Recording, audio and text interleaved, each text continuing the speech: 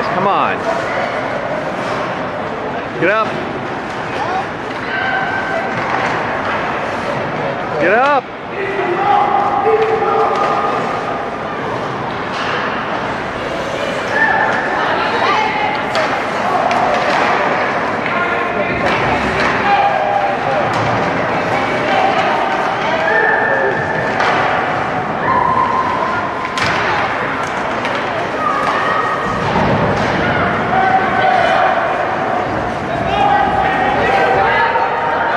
He's got to sharpen his skates.